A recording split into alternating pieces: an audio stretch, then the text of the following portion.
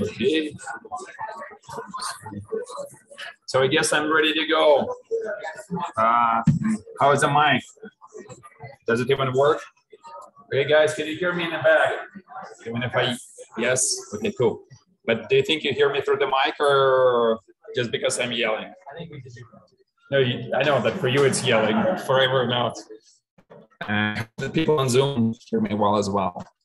Mean, sorry again, technical issues with each new room. So, okay, guys, welcome everyone to this uh, CS whatever 3810, right? Computer system organization. Actually, I didn't change the slide. Uh, okay, let's. Uh, today is uh, kind of an introduction, so we will. I will try to explain why we're doing this class and uh, what is coming, how hard it is, uh, stuff like that, and then we'll start mostly on Wednesday. Um, and again, I want some confirmation from Zoom people that you guys can hear. Uh, actually, I'm recording this video uh, and I will set up a live stream as well. You can, I mean, you can join Zoom, but maybe we'll just uh, do a YouTube video as well at some point. Um, Zoom people, can you say thumbs ups or something? Yeah, I can hear. Okay, cool. Thank you, Tyler. Um, okay, then back to slides. So what's going on here? So it's a pretty large class, so 203 people as of morning today, and I the room is almost full. I mean, I'm pretty sure someone, some people will drop, uh, but nevertheless, I mean, it's uh, relatively high for the University of Utah.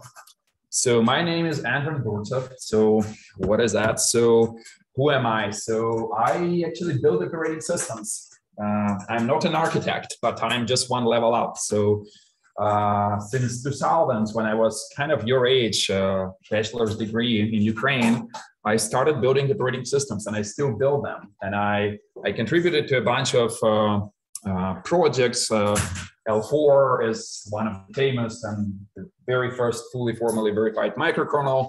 I was lucky to work with the team as a student, actually. did something for them, built this micro specification for them as a PhD student. I built this deterministic replay engine for Xen. And Xen is a virtual machine, if you don't know, which was used by Amazon when Amazon created their own cloud. And then later on, a, there was a fight between uh, Xen versus KVM, which is part of Linux now. But nevertheless, this uh, deterministic replay means that I was able to record execution of the entire system, which is inside the VM. And then I was able to replay it back, mostly for debugging and analysis purposes. But it's a lot of low level engineering and uh, we still build it. So we still build build those systems with my team. So we're always looking for students. If you're suddenly interested right now working on three new operating system redleaf is uh, in the best shape among the three. So it's a clean slate uh, microkernel built in rust actually to explore the benefits of uh, language-based isolation compared to hardware isolation. But we have a couple of other ones. The redshift is uh, os which believes that in the future, we're not going to be running our software around uh, general purpose CPUs, but will inherently rely on accelerators, GPUs, programmable hardware like FPGA, some custom silicon. And the question is how the operating system will, will look in this new, new age. And Horizon is a new secure hypervisor, kind of like in which you own your data, which is which sounds like science fiction and it is still, but maybe in the future it will not be. So, you know, when your Roomba with a camera rounds around your floor, taking picture of you, supposedly never sending them anywhere. Uh, in Horizon, we'll have a guarantee that those pictures are still never sent anywhere. Or even if they sent to the cloud for some processing, like doing this simultaneous localization and planning, which Roomba is doing supposedly, uh, you still own them and you as a user can, can have a guarantee.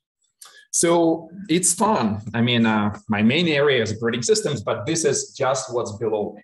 And today I will try to convince you that, you know, it makes sense or it doesn't even make sense. It's just kind of an essential knowledge. So it will be covered in this class. It will not make you a god of, you know, of modern computer science, but you will be often one paper away from understanding what's going on. Because with, without this knowledge, which is in this class, uh, you will not be able to understand what the hardware is doing underneath. So I think we have at least four TAs, but I think we actually have more. Uh, you obviously know where we meet. Uh, our main communication mechanism will be Piazza. So there's a link on um, on uh, what's that Canvas, right? So on Canvas, I actually I put up.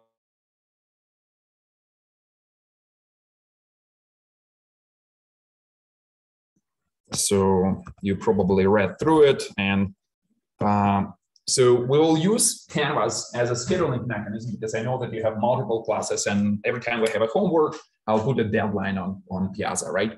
Oh, sorry, on Canvas. But uh, all the discussion is on Piazza. I'm pretty sure that's familiar to everyone, right? Because everyone is doing the same.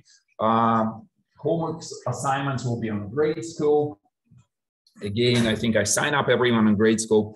Uh, I don't think I had a way of signing up people from this class uh, on Piazza. So please go ahead and sign up. Uh, sooner the better, the better. But all official announcements will be through Piazza. It's okay. But Piazza is is the place to ask a question. And I'm pretty sure that you guys will have your own Discord. Uh, if you invite me, I will join. Um, but uh, if you want to talk to TAs and myself, just send us a private message on Piazza or public question if you want to help with homeworks and whatnot, right?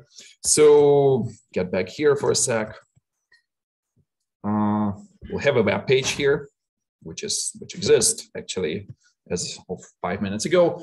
And this is where I will be putting all the lecture slides and videos, right? So I'm unfortunately a last minute person, but I still managed to export my today's slides to PDF. I will try to make it a little bit earlier, or at least like export a draft. But you can click here so you will get access to the PDF. If you want to do annotation on them, go ahead, print them. The closer to the class deadline, the, the better because you have a higher chance of getting the most, you know, the most updated version of the slide.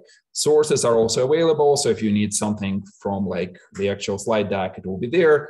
Uh, the repo for the class will be available as well. And the video will be posted uh, here after every lecture, right? So you will be able to review uh, later on as we move towards, towards uh, like midterm and final, right? Uh, what else? It's okay. So a little bit of what is coming in this class. So I don't think that it will be extremely hard. So my operating system class is hard. And people say maybe the hardest they ever took uh, when they are like undergraduate career. But this one shouldn't be that hard. And uh, in general, you know, I wouldn't worry too much about grades. I'm I'm a lenient grader, right? So I don't believe that grades should, be, should motivate you.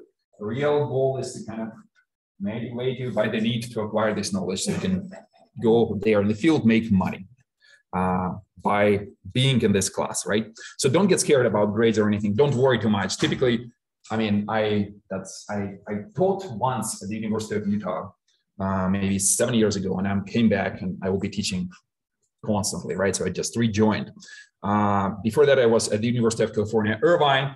I have this wonderful T-shirt uh, the thing is that you can go on and search, and typically, you know, my grade distribution is uh, better than many, despite the fact that the classes are very, very hard. So usually, like grades are not a problem. But what's coming in this class is following. So we will do uh, around eight to 10 small homework assignments, which will follow the lectures. So those are mostly like kind of like pen and paper on Gradescope, right? Not super hard, but still you need to understand what's what's happening in the lectures. And it's kind of to force you to follow the lectures, right? Uh, and we will have a couple of lab-like assignments, maybe one or two, for which you will require to SSH to a Unix server and you know type some C-like commands or maybe program in C a little bit. Why is that? Because I want to give you some exposure to real hardware. Kind of like, okay, I will ask you a question, like how many cycles this specific thing takes, and you have to we can call that specific thing and uh, and measure. And I mean, I'll, I'll teach you how, so don't worry about it. But it's it's a it's a nice skill to to know how long it takes to, for example, fetch a uh, value from a key value store, depending on the size, stuff like that. Uh, then midterm, final. Again, all the grades are curved. I don't have a. If you don't get, you know, 99 or 95 or even 85, doesn't really doesn't mean much. The question is like, how do you behave? How, where are you relative to the rest of the class, right? So the way a curve, the top score gets 100, and then we go down, right? So, but again, usually, and so don't worry about again, like typically, I mean, again, in this class, I guess curving will not be as, as, as, as aggressive because probably the class is not that hard, but again, don't worry, but just keep track of where you are with respect to the rest of the class. So, and the distribution rough, again, maybe will change over, so 30%, midterm, 30%, final is 40%. Uh, out of those assignments, you can drop two if you choose that you can't finish on time. So be careful, right? Two is not that much out of 10. Um, you have to be. And I mean, I might excuse you, like if you're one second late, but generally submissions are zero, right? Just because you have this drop option. And it became popular recently in, in many classes, I guess, just because people don't want to deal with late, uh, late submissions because it like delays the grading, like we have to track who, who does what and stuff like that right? So again, we're gonna use the book, which will be Hennessy and Patterson, Computer Organization and Design, either the fifth edition or the sixth edition. They're close enough so you don't have to buy a new one. Um, and let me stop here for a sec. Are there any organizational questions for now? All good? Pretty typical, yeah. So when you say something is uh, when it's late, it's worth zero. At what point, like if something's due at midnight, if something's turned at twelve thirty, is that still zero? Or yeah, no, it, it, will be like it will be usually eleven fifty nine, okay. and if it's eleven fifty nine or one, I think uh, it will be automatic submission, right? Most of the time. Yeah. Um, the exams open? Ah, yeah. Forgot to mention exams are open book again that's I don't think we have to memorize a lot of stuff. So the goal is to get understanding. What does open book mean here? Like what are you allowed to bring? Good question. In the past, I was allowed to bring anything but the internet and communication. Most likely that will be. So the... I could bring electronic devices, but turn off the internet on them. Correct. Correct. Okay. And you can search through just again, I don't see a reason in forcing you to memorize anything. So if you have understanding, you know where it is. It's up to me to create an exam which is challenging enough for you to, to distinguish your grade from your peer. Typically, it's easier, in my opinion. So like if I took notes on a tablet, I could use that on the? Absolutely, yeah. Uh, and it just has like a PDF open on the. Uh, right, correct. And you can search with the PDF. So in the past, uh, like literally anything. No no personal communication or no why no internet? It's kind of funny because originally it was open internet as well but then people started searching and you know the, the answers which they get back are they can go on some kind of comic book. It's it's funny. Yeah. And uh, so that's why i close it. So just uh, just to avoid this like ridiculous answers any other questions? This is a good one, actually. Yeah. So open. Typically, we stay pretty open in in, in my classes. Just anything anything else? Do you have to choose to drop the number descent or lowest grade? I think you can either choose or I can drop the lowest in the end, right? So it's easier. Uh, like if they will be weighted, then we'll, we have to discuss how it works. Like maybe weighted minimal or something. Any, any anything else? Okay, good. So a brief overview of topics. Uh, so we're kind of done with uh, uh, organizational part. So I think essentially the, the goal is to teach you is what's inside machine, right, and how it works. Uh, it can be a laptop, can be a phone, can be a a server in a data center, they're kind of conceptually similar. And of course, I mean, I haven't only so much time, so I can't teach you for real how like a specific, you know, the, the, the current generation of x86 works, right?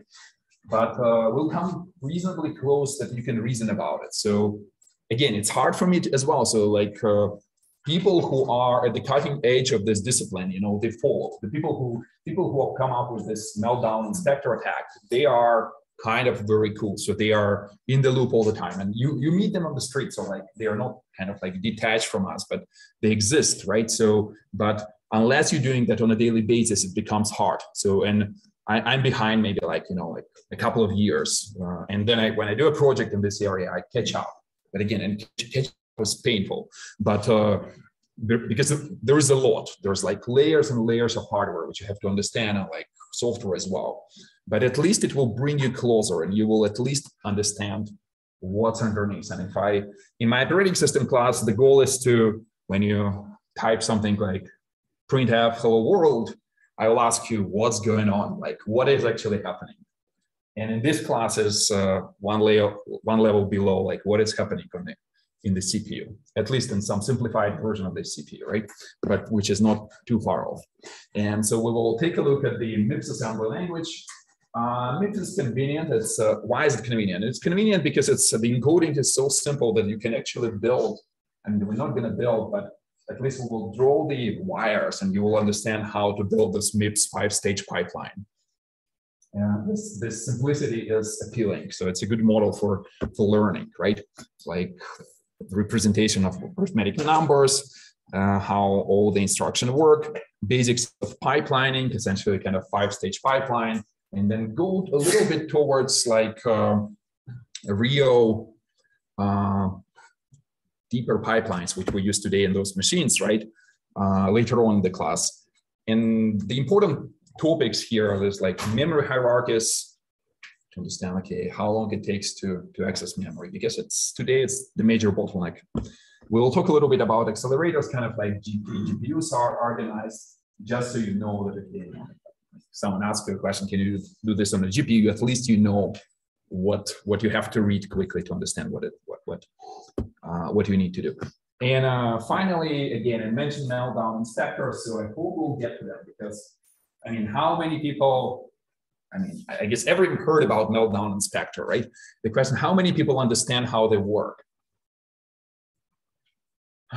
No people. One. Okay, one. What is it now? Uh, good. So, how many people heard about meltdown and Spectre? Two attacks. Oh man. Okay, I wasn't surprised. Yeah, I was, I was, I was thinking like the whole class. So these are like two, two, two attacks, which became, I mean, for many, for decades, security researchers suspected that those attacks are possible. In brief, meltdown allows you to read the memory of the kernel, which is typically, you know, protected by the operating system because you can have a secret there, right? Like a private key or something. And uh, Spectre allows you to read memory of another process. And they, like it, became very powerful. They came out uh, maybe three, four years ago, and uh, they just changed the world essentially. Like essentially, like imagine running this machine, but it's completely insecure, or running in that data center. For me, okay, well, maybe my um, credit card details will get stolen because you know I have the credit card open, my bank page open, one web browser page, and uh, navigated to some malicious website, another, and suddenly that gets, gets stolen. But imagine you're doing financial transactions in a data center. Then you're really scared, right? So uh, you had where they're able to hijack the ghost process. Spectre allows you to read memory of another process. Meltdown allows you to read the memory of a kernel. And then there will there were follow-ups. Uh, it's it's kind of the must have knowledge today because uh, you might you might deal with it. So you might have to build uh, algorithms which are which is called oblivious, meaning that they can uh, uh, the the behavior of the algorithm does not depend on the input, for example. Um, and it's again, it's just again defense against a specific subset of those attacks. But understanding meltdown and Spectre and what these mitigations imply is, is, is necessary. And so again, the trick is that to understand meltdown and Spectre, you have to take the entire class. That's why it will come at the very end. And I hope you will get it because typically people get it. I mean, inherently it's very simple. If you follow the class and you understood everything, then you know it's kind of a logical consequence. And it's brilliant. It will just blow your mind. This when I, when I read meltdown, it was just wow. There was a couple of like uh, I don't know how many people know return oriented programming, ROP. So it's essentially a technique which allows you to build a Turing complete computation by just returning uh, and using the stack computation. Uh, it's like exploitation technique which allows you to execute anything without changing the code of your program because it's read only, so you can't change it typically, right? It was eye-opening, and meltdown is equally eye-opening. Okay, so cool. So that's the overview. Any any quick questions? Feel free to interrupt me anytime. By, by, by, by. Uh, are you gonna cover like how we should go with the book? Ah, yeah. So, but every time we will do something, and uh, every time we'll do a lecture, there will be a chapter, uh, which will be an assigned reading. Is that is is that the answer? Yeah, I mean, so I was looking at your syllabus Mhm. and I think the first two classes are like chapters one. Would you want us to read all of chapter or would you want to read the section based on the class? Like the second day is called. And I noticed in the book it says, there's a section that says measured performance. Yeah, and you'll probably understand where we are. I, to be honest, I mean, I read it yesterday, just just again, just to. I mean, and it's it's it's an okay read, so it's it gets a little bit detailed sometimes. I would say read it. It's not as hard, but uh, uh, and but I don't know what it what it means to be to, to be hard for me and hard for you, right? So when I was a kid like you, it was harder to read those books. Now they look easy, right? So I don't really know. Uh, I would say it's if there is some irregularity in, in, in how we go versus the book, I will probably try to to alert you. But I would say just read. Uh, usually, sequential reading of the book uh, is the best approach. If I just because I mean those guys, Hennessy and Patterson, they're kind of the gods of this discipline, right? So they invented MIPS and RISC, and, uh, or RISC and CISC, right? Uh, and uh, uh, they're fun guys, and this is like sixth edition, so they kind of polished it a little bit. So I kind of agree with what they what they wrote in the other book, which is for graduate level, it gets kind of like gets too far into the woods. So I'm not like entirely sure I like it that much. But this, so does this answer the question? Yeah, so you want to basically like read the chapter. Yeah. week. I, yeah, I, I would read after the lecture, kind of After after the first or the second? ah, after each lecture. Yeah. What do we have here? I read it like five times? Let me just no. Uh, Yeah, pretty much. I'll help you, I guess. So don't don't don't worry. I, I, I did expect so many questions about how, how to read the book, right? I hope it's easier than it sounds. Is there anything really important in the sixth edition that isn't in the fifth edition? I, I don't know the difference that much. I looked at them, they look almost identical. Yeah, so I wouldn't, uh, I wouldn't go and buy a new one, I'm pretty sure. Um, I just want to ask the class, has anyone found like a PDF book online for free? What? No. Yeah. Make sure that I mean, I'm it. but- Make sure it's the one you the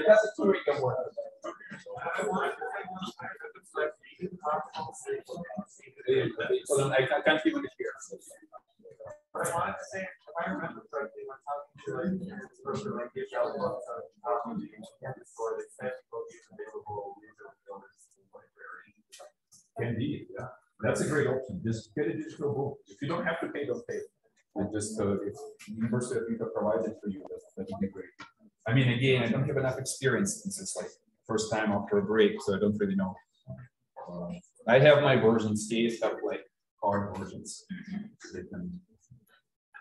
Uh, but book is a fun read, you know, because, uh, okay, so like a little bit of, uh, personal experience. So I was teaching classes without a book and it's nice, but then it gets a little bit abstract because no how hard I try to put everything in a lecture, I cannot, right? Because I'm, I have my own vision of what's going on. I put something in a lecture, but it's always nice to read it again in a book and it will help you to understand what's going on. I kind of solidify knowledge and reading just, it's a fun book again. But if you have to read 10 of those, then of course, yeah, uh, in each class, you, you guys are suffering. Okay, anything else? All good? Okay. So this we did. Okay, lectures, obviously, we're already kind of in in one of them, so we we know what's happening. Hopefully, like recorded. Supposedly everything works right now. Live stream. I forgot my wonderful camera, which I can put here, so you don't have to look at my chin all the time. But We'll be looking at something else as well. Uh, and Hennessy and Patterson, some additional notes, homeworks, exams, open notes, right? So good question about open notes. So probably that's the end of the overview here, right? So come on, questions. Yeah, questions. We already had questions, right? So now back to business. So again, back to why do we have to take this class? So does anyone have a version for me? Okay, why did you guys take it? Like anyone? Is there a reason? Required class? yeah, I know. But again, my goal now is to is to change it, like More practical reasons. yeah, good. So my goal is to make sure that instead of like being a required class, it's it's it could be an elective, and you should still elect it.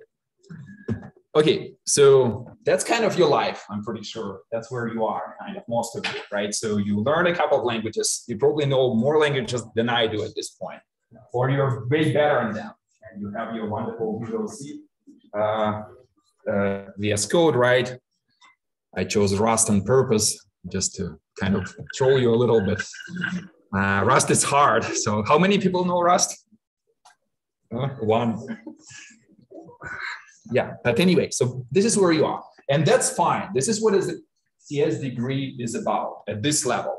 The question is like, can you make a next step? And this is what we're doing here. Meaning, can you build whatever you were building on that other screen fast or secure? And I'll give you a couple of examples, uh, which will try to convince you that, okay, it's not as easy to build the fast software these days. It used to be a little bit easier back in the days. When I was young, my main job was essentially, okay, compilers were just kind of sucky. And I have, if I write something in assembly, I'm the god. Like, you know, everything runs fast. Everyone looks at me, you know, like ray tracers run fast. Everything runs fast as long as you can handle assembly. But today compilers are good. You know, they, they generate code which is better than I usually write by hand in assembly, unless there is some kind of a specific trick which compiler cannot guess because it's semantic trick, right? So you know something about the code. So here's one example. Join. Again, I don't know how many people took a database class. Let me just grab my pen here. So I will explain you briefly what this what this join is about. Uh, thing. So who can tell me what database join is? It's when you're basically trying to cross-reference in like a relational database and bring in data from multiple tables based on. Yeah, so imagine you have two tables. Maybe one of them is students. We call them canonically R, uh, and another is S, something else. Maybe that's the cities where they live. Each table has a key. So for example, one, one, two, three, four. That's a unique key it can happen multiple times, so it's not unique. Uh, here we have uh, maybe one, seven, five, let's say three, and that's about it. So, and this is A, B, C, D, E, F. I forgot the alphabet after that. What's next? H. H. And next? I. I. Oh, thank you. You're better than me in alphabet. So join means that you select a record with the matching key. So one and one, and you output something like one, A, F, right? The next one with join says one, B, F. And you obviously, you say, look, uh, if it's a student A and B and they live in the city F, so it kind of makes sense, right? Uh, two doesn't join with anything. Three joins with I, so it will be three, D, and I, right? And nothing else joins, looks like, right? Agree? Uh, so does anyone know how to, what's the algorithm, how to build a join?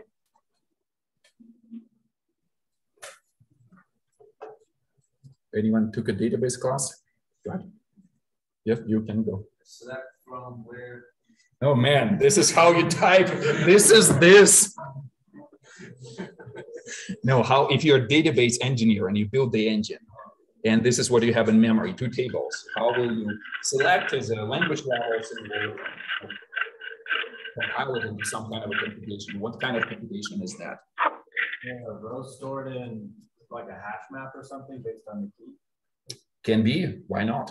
we can do this, right? Yeah.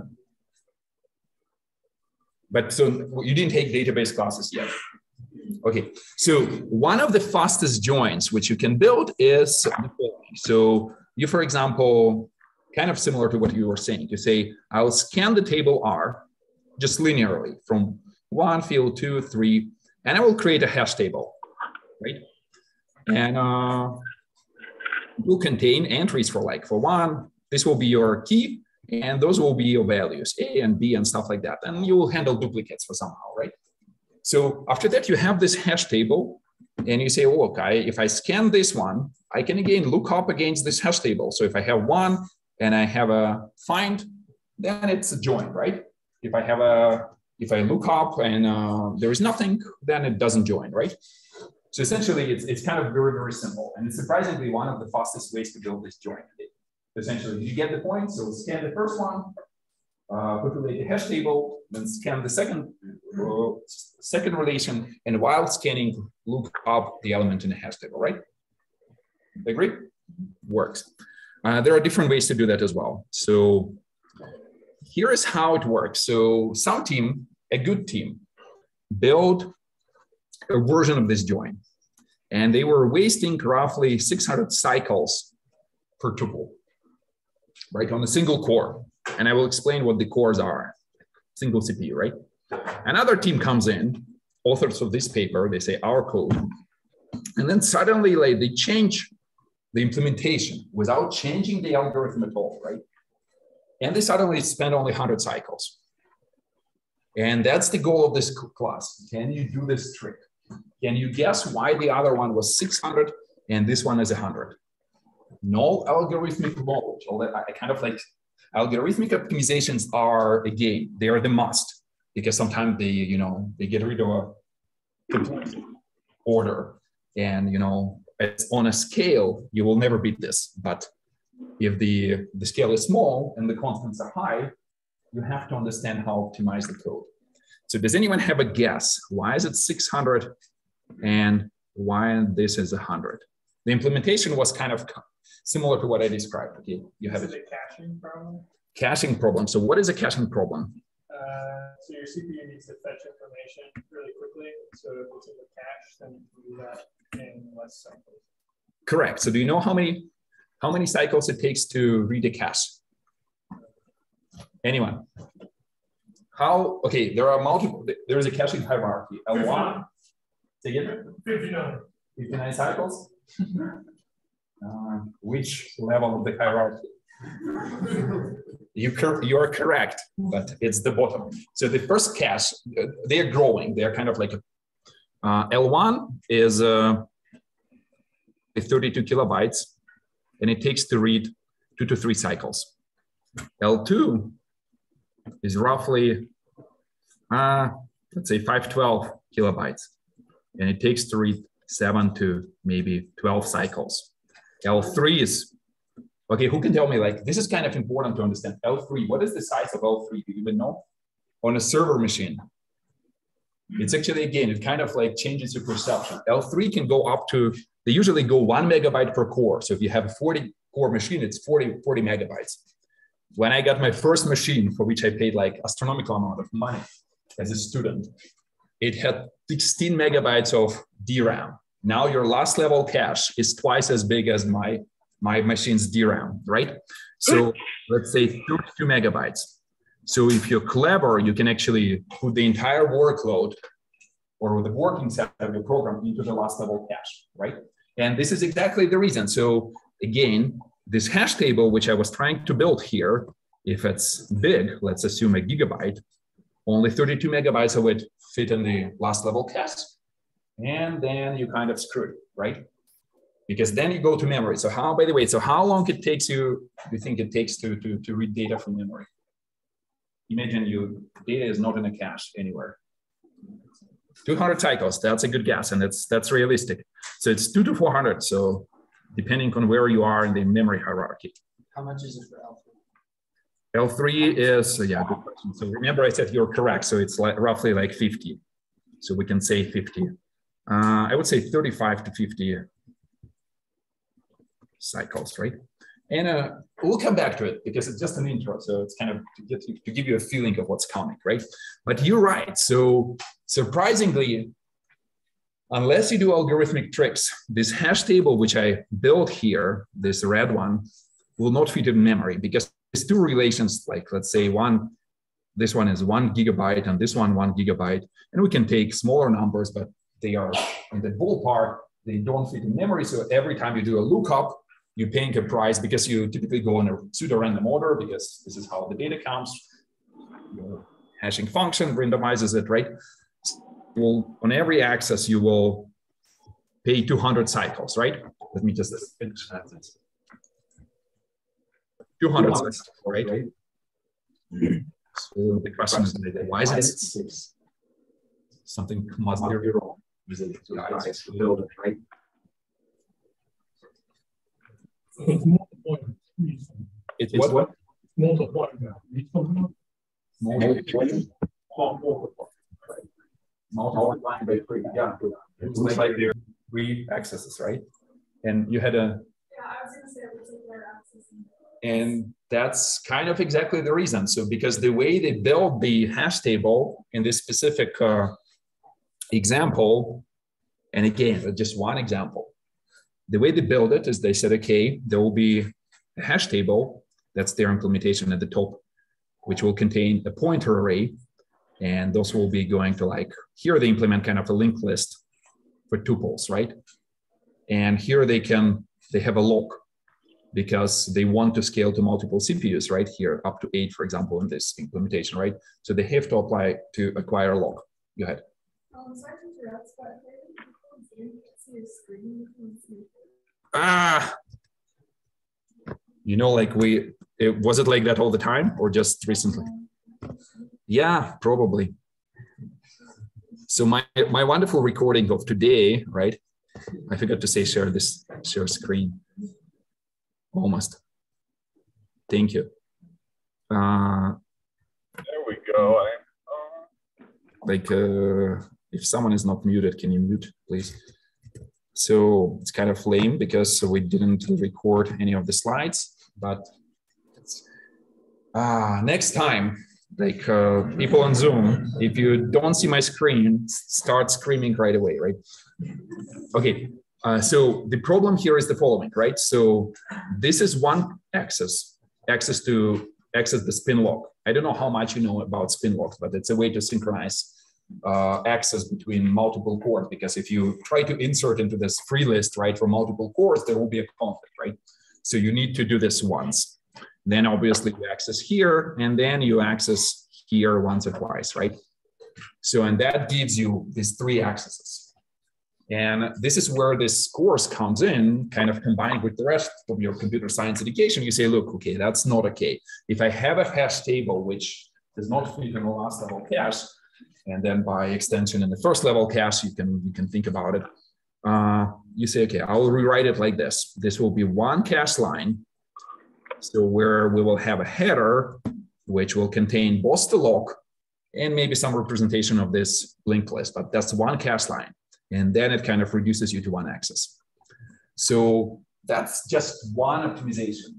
There is also an algorithmic optimization in this database joins. But again, this is kind of the flavor. Without understanding the memory hierarchy, without understanding those numbers which I uh, provided here, you can't reason about it. If I, my favorite question I will ask you, I will put, a piece of code and I will ask you how many cycles it takes. And then, because you don't even know whether it's fast or slow, what is 600? It looks fast, right? So, but on the other hand, you can say, okay, I can execute 600 instructions and 600 cycles, often more, right? Because you execute like 1.5 or something like that, right? And uh, the code will be hitting on one screen. It's like one if acquire spin lock, so it's like 20 instructions or something like that, right? So one example, another example here, which is kind of fun. So uh, open a web browser and hopefully it will run. So I wanted to show you. So this example is about virtualization and everyone knows what virtualization is. Everyone is excited about it. Um, in a browser. just Linux. It says Alpine, right? 322, not bad. x86. Wait for a little bit.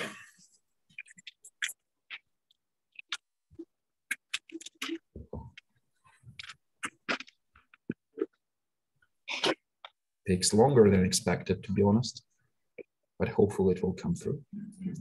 Boot it into Linux. World, kind of like a full distribution of Linux. We waited for maybe what, 20 seconds, maybe less, right? So what just happened? Inside web browser, it's not a shell. We really emulated x86 CPU. Uh, by Fabrice Bellard. He's a clever guy.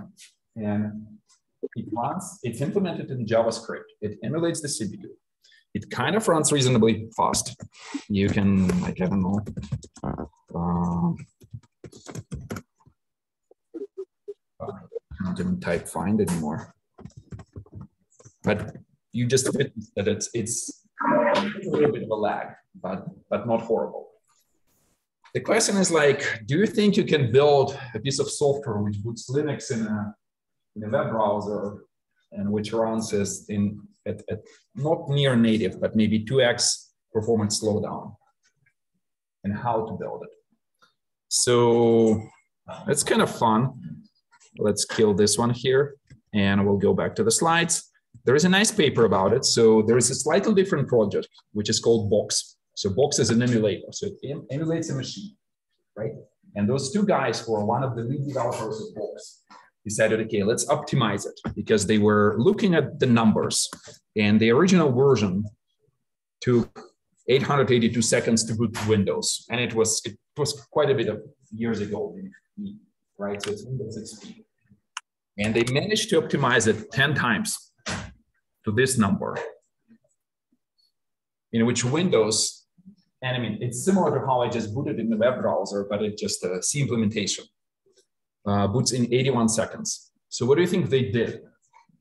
What kind of tricks they, what, what was the performance bottleneck for them? If you get to like, you know, maybe tomorrow, you get hired and someone's asking, okay, optimize Bochs for me. I mean, to be honest, I didn't know either. It's kind of tricky, but it comes with experience. From their paper, they claim that, you know, host branch misprediction as the biggest cause of emulation performance. Uh, you have to really, re really read the paper, and I kind of encourage you to do that. So the link was here. So if you click on it, you will get land on the paper, and it's a, it's an easy, relatively easy read, right? It's a little bit surprising because you say, look, you probably heard that branchy code is a bad thing. But here it was kind of like killing them. So essentially, just because they were running those emulation of x86, there was a, ton of if conditions. Say, okay, if it's this instruction, I decoded it like that, then do this. If it's something else, do that. And there is a thing which is called the branch predictor, which predicts in the CPU. Because a mispredicted branch takes you on this specific CPU, introduces a 20 cycle penalty. So if you mispredicted the branch and essentially you execute the code kind of like if some condition here, you execute A, else you execute B, right? And the branch, when it takes you like a couple of cycles to figure out this condition, right? And the CPU predicts the way you will go, makes a prediction. Very kind of high, up to 97% accurate prediction. And if you mispredict, you pay a penalty of 20 cycles. Apparently, it's bad enough to slow you down here, right? And they talk about other techniques which they use, but it's kind of, again, it's kind of an interesting observation that unless you understand the branch predictors, or at least understand that they exist and they can, uh, can be wrong, right?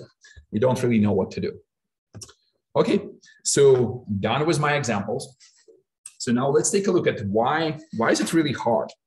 Why, what has changed? As I was saying, when I was younger, life was actually easier. So the problem was that uh, the problem is, I guess, is that uh, if this is your uh, relative performance of your CPU, for quite a bit of time here, for almost 20 years, it was doubling every two years.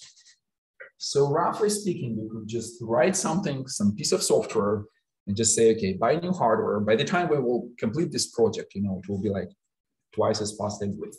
So don't worry about optimizing. And it was fun. So it was era when you were able to do both the hardware was getting better, right? So essentially the transistors were getting smaller, the frequency was going up.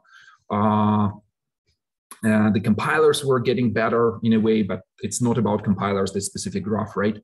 But mostly about the frequency uh, at which your CPU is running, the size of your transistors, and microarchitectural innovation. So kind of like better branch predictors, better pipelines, right? And so this was your golden age. You didn't have to worry much. Here, unfortunately, we kind of hit a, what is called a power wall. So essentially, after you hit something like your CPU is 100 to 150, takes 100 to 150 watts, you can still dissipate heat with, with a sink, which is cheap, right? But uh, if you go above, then it will start breaking and melt eventually, right? So you need a more expensive cooling solution, which is uh, not viable in, in production scale, right? And so essentially we started thinking about, okay, we can't really grow the frequency and all the easy low hanging fruit in the micro architectural innovation was already implemented. So, right, new feature would require more transistors, but you cannot dissipate power, right? Because each transistor produces some power. So, right. And so somewhere here is like frequency almost stays unchanged, right? And this is where we are. So this is like uh, graph for 212. The textbooks probably have something from 2021. But essentially right now, in order to build fast software, you really have to program for the architecture. And sometimes use accelerators or sometimes means almost always. Practical examples which everyone of everyone is running right now is your essentially crypto accelerator. So like all of this video as well, right? So uh, all of these devices have a crypto accelerators which allow you to quickly encode and like encrypt and decrypt data, right? But there is more, like obviously you have you've heard about GPUs, you've heard about network accelerators and stuff like that, right? So and it will become harder. So that's why here, unless you know what's going on underneath, you can't really build build fast software, right? I know, tired as well. Okay, so um, we'll get to the performance again. It's just just just an introduction here, but just to give you an overview of what is there inside a typical machine, right? Because typically like we all kind of know but again my goal is to make sure that we're not afraid we can like essentially disassemble this piece of hardware see what's inside so my example here is just a typical uh, kind of like top of the line or decent motherboard from five years ago right so most of you probably tried buying it but it has it has a slot in which you attach a cpu and a bunch of slots with memory DIMMs here right and there will be some slots for graphic cards uh, on a PCI bus, which connects them, right? So kind of like there will be wires going to this like PCI controller over here. It's another microchip and then connected to the CPU as well, right? And the memory bus will connect you to those DIMMs, right? So we typically, I mean, most of you probably once in your life bought a CPU, right? You decided to upgrade. So what you have inside is this is a picture of one CPU, which Intel calls a socket, right? Uh, it has four cores, so one, two, three, and four. And each core has two logical threads, which are called hyperthreads, right? Well, later in the class, we'll explain how those hyperthreads are built, but at least we know that, okay, uh, if I do something like uh, here, my wonderful machine can proc CPU info, I will have, it says, okay, you have eight CPUs. In practice, I have four and each of them has two logical threads, right? Sorry, I can make it larger slightly, right? So it's the same for you, for most of us, right? So that's how we run it. The interesting, I mean, there's nothing super surprising here. So each of these cores is connected to memory, right? So again, nothing super special. Memory is a simple abstraction.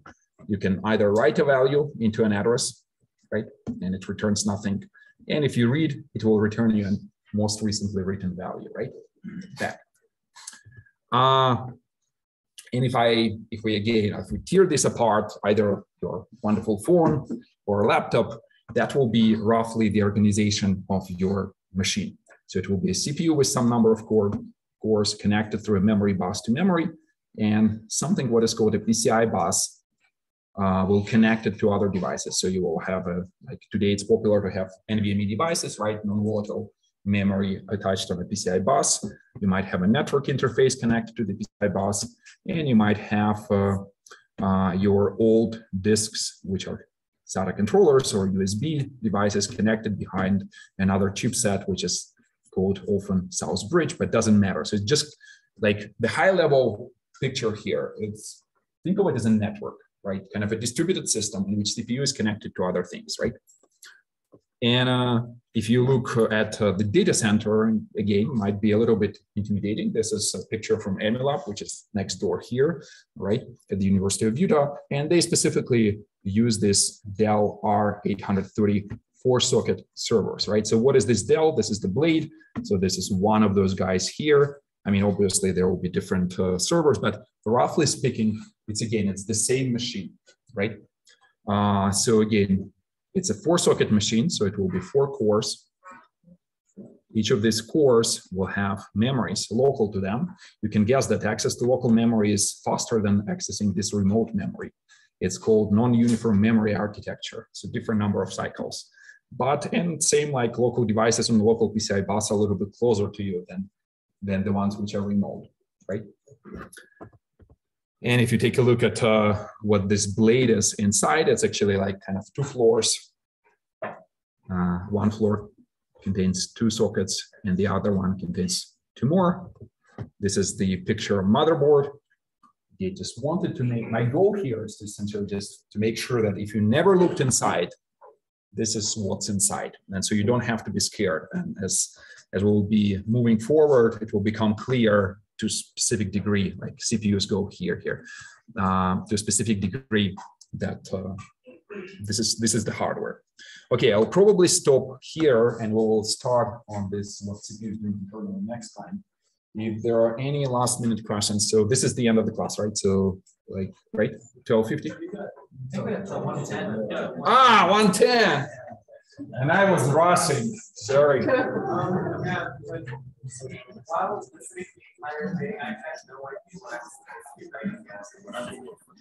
Okay, hold on, guys. Since uh, if we have time, we'll, we'll move on. Sorry, I have 20 more minutes, and I was thinking, why is it I'm so late? But yeah. So the question, the question was, uh, what am I supposed to write down? Uh, and that's a good question. So right now, again, this is an introduction lecture. So here you can just listen. Uh, in the lectures, which are more specific, where we go about, go and describe a bit of a digital circuit or branch predictor. I'm wondering when you I believe it was one of the database joining, I had no idea what you were referring to regards to things like cycles and threads. Got it. No, that's a good question. First of all, I appreciate the question because we will go and explain what cycles are, right? But, and I'm, I should admit, yeah, I didn't realize that people might not understand what cycle is. So cycle is essentially, uh, it's a timing mechanism which allow you to, to do a small step in your digital circuit and then save intermediate results, right? But roughly speaking, when you buy a machine, right, you typically look at the clock speed, right? Whatever, it's 2.2 gigahertz or like 2.4, right? And roughly, uh, as we will understand later, in one cycle, typically you can execute one instruction. In practice, you will execute a little bit more, but roughly what I want to understand, you to understand that in one cycle, there will be one instruction under good conditions, right? So, and again, I don't think you need to uh, you you don't need to remember anything specific from today besides just the general picture of what's coming. So we will go and in my next lectures we will start building small digital circuits. So we will first like this is like this is actually the beginning of what's coming. So i will try to explain what's going on inside the cpu right? What what cpu is doing right and uh, I will try to explain then how we can build a simple CPU out of digital circuits. So we will first go through assembly. And uh, assembly is a just human readable representation of what machine can understand. Your digital circuits essentially see bits, right? And assembly is just for you to read what you kind of execute, right? And uh, and there you will be essentially noting down that okay, this is this is how it goes. And uh, I understand that today it's a little bit high level, and I again, um, there's probably more than than you can imme- immediately understand. The goal is that for people who are who are like proficient uh, in developing stuff in C or whatever language you like, uh, the, the the point which I was trying to make is that there is another layer underneath, and the way you should look at it, it's not just your language, but there is a lot going on underneath, and you have to understand that you have to be able to reason about the performance of those layers and we'll gradually get there. So don't worry about today. Yeah. Say again. You have to. You need to know C. No, for this class. Uh, I was thinking of doing uh, one lab assignment in C. If you, if there will be, we'll do a poll. If people are struggling to simple C, which I will probably pre-populate, we'll figure a way around it. It's just that C is almost assembly. So it's uh, when you look at C, because the abstractions are so thin underneath, you can kind of predict, you can see through this code and, and guess what the machine instructions will be generated and what is running. If you're running something like Java, there will be a runtime, you know, garbage collector, stuff like that. Uh, not even like just even Rust, which compiles to metal, will have language level abstractions like ref cell or what no i don't know how much you know about Rust but they can see like a template. What does it expand into? Like what, what kind of code gets generated? So it, it gets it's get hard. C is one of the simplest languages which allow you to to reason about performance. And this is what people are struggling with. They say okay we want this performance transparency just because we want to understand what the machine will be doing. Because if we're optimizing every cycle that's what you want to do any other questions okay sorry so i get it wrong once, but let's go into this. Okay, so and I was rushing, which was kind of bad. So any then I can step back a little bit. Any questions about those motherboards and organization of the machine? Do you understand this picture? Uh, let me scroll back a little. This one. Uh, sorry. So essentially, my goal here was to explain you that these blazing data servers, and when you when you hear a word data center, you shouldn't run away First of all, it's next door. You can go and see. The Google data center is just larger, but essentially it's the same. And this is one, it's, it's, it's a sizable example. Each element of this data center is a blade server, uh, which contains essentially the same motherboard, just instead of like, if my laptop has one CPU core, or not one, one CPU socket, this guy has four. And again, what I wanted to emphasize here, I don't know how much you know about uh, parallel programming or like programming of applications which run on multiple cores at the same time. So here, it's not just multiple cores, but it's multiple sockets. And I want to wanted to emphasize the fact that it's it looks like a distributed system, although it's physically like on the same piece of uh, it's the same uh, motherboard, right? Said it's two it's connected with those links. And this is how it logically looks. Again, my goal here was not to scare you, but instead kind of like build layers and claim that this is what's inside.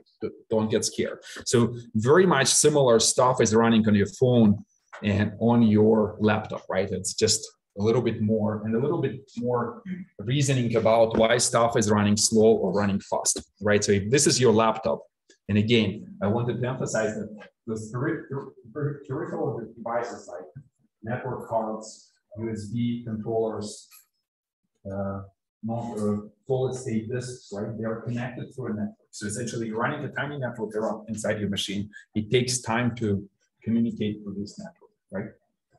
Uh, but that was my kind of goal here. Just to make sure that we, again, uh, before I open a phone myself, I, was thinking, what's inside, right? I, it's it's kind of hard every time, even when you move from x86, which is warm and fuzzy for me, to something like ARM or MIPS, it gets a little tricky because everything is slightly different, and you you don't always know how it works, right? So, okay, any questions about this? Okay, good. So let's move slightly forward. And uh, I wanted in this last 10 minutes, which I have, I wanted to spend them explaining what the CPU does internally. Again, my goal here is not to scare you, but kind of convince you that it's relatively simple.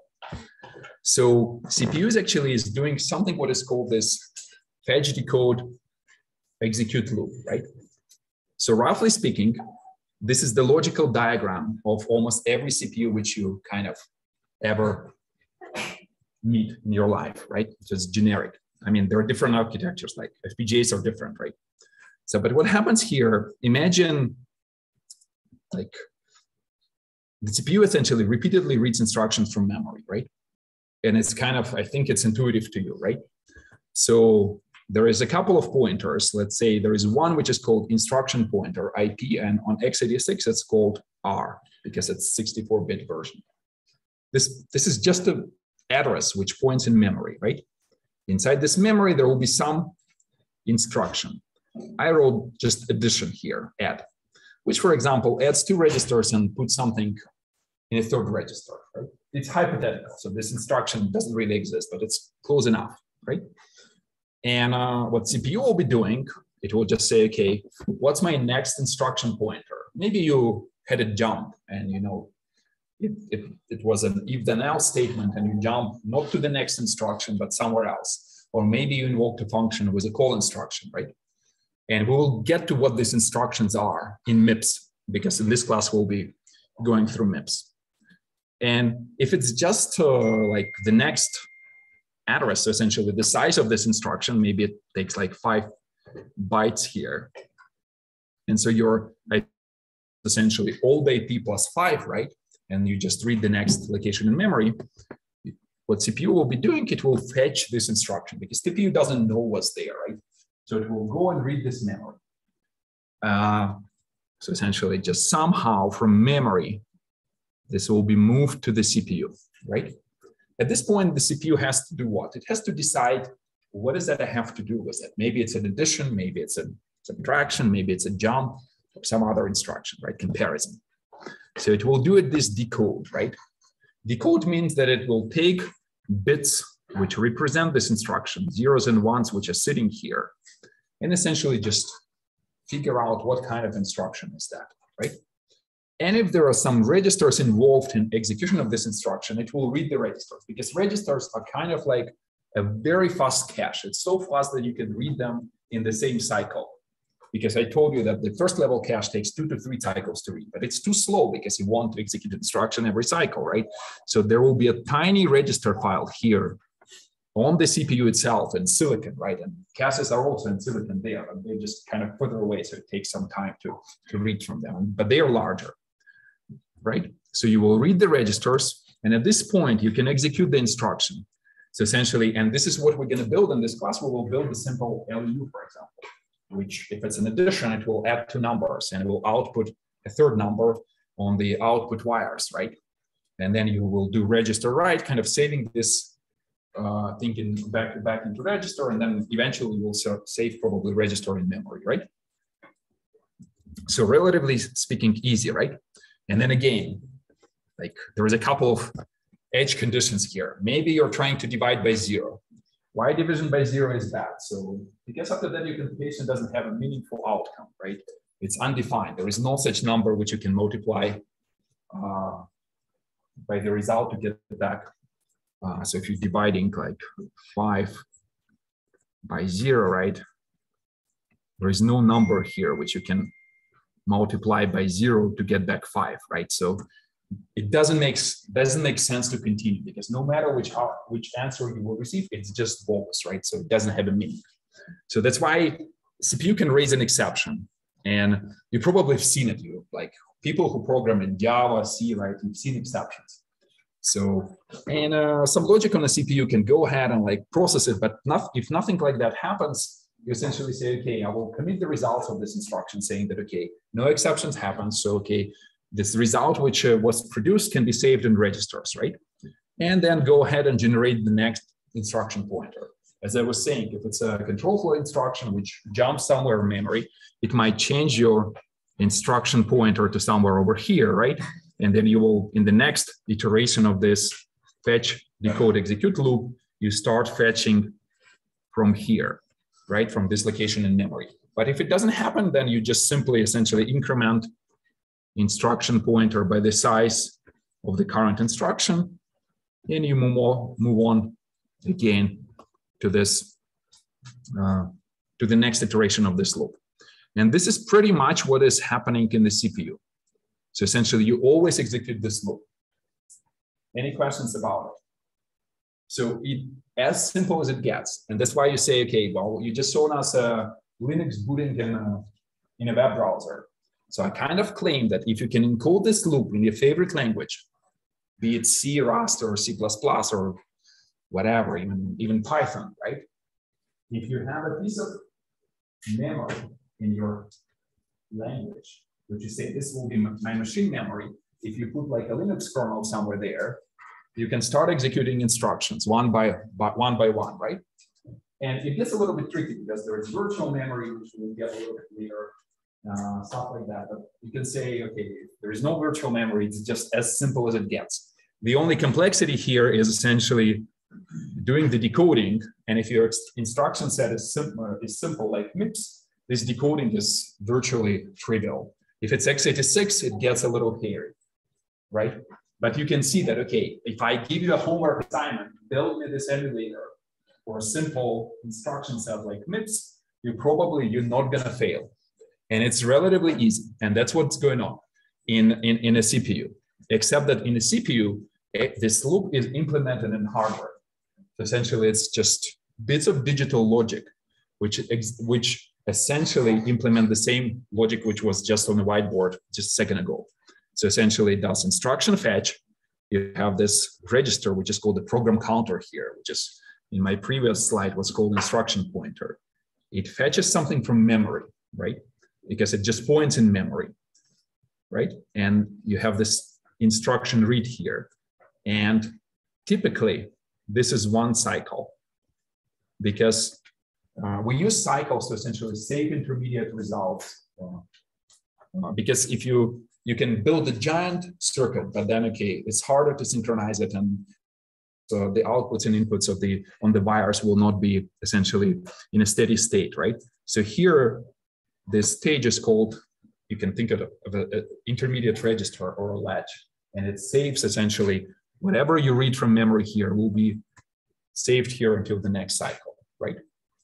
And then you know you hear like this is your decoding logic, and it's just shown with a wire here. We will essentially talk through this CPU and we'll understand how it's implemented. But there is a register file from which you read. So essentially, if your instruction here contains like something, a number, read something from register one, you will read here from register one and we'll save this result into this intermediate latch, right? And in the next cycle, depending on what operation you're doing, this ALU, which is a digital circuit which does addition, subtraction, stuff like that, right? It will produce you the sum of these two values, which are essentially where first read from the register file got saved here, then they go through the addition and then saved here as an intermediate result, right? And here, depending on what you're executing, right, you can either write back to memory or you will have later this line here, which allows you to write result back into the register file, right?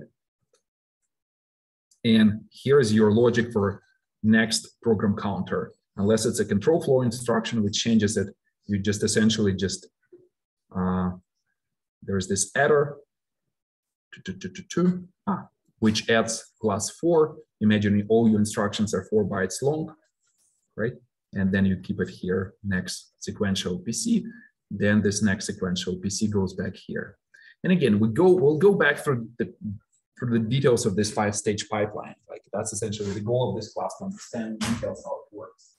In my intro lecture, I just wanted to get to this point that first I wanted you to explain okay, CPUs are relatively simple unless you get like dig, start digging into optimization details. And second, it's it's actually possible to understand how to build them in this digital logic. Okay, I'm almost there. wait, wait, wait. So questions, we still have maybe a minute. Anything? Where can you access the slides before? Uh, it will be posted on the class web page. The class web page.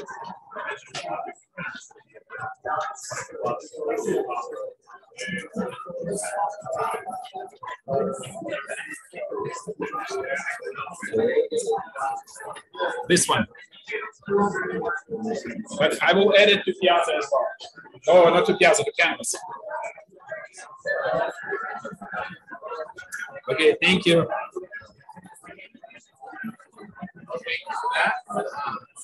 I'm interested in learning more about that Horizon project. Where should I